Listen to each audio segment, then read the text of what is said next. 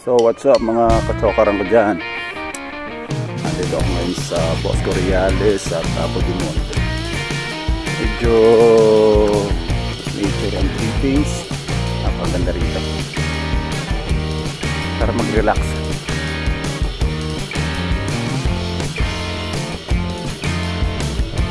Nakakawala ng stress. Ano, totoo mga napakaganda dito nakawala ng pagod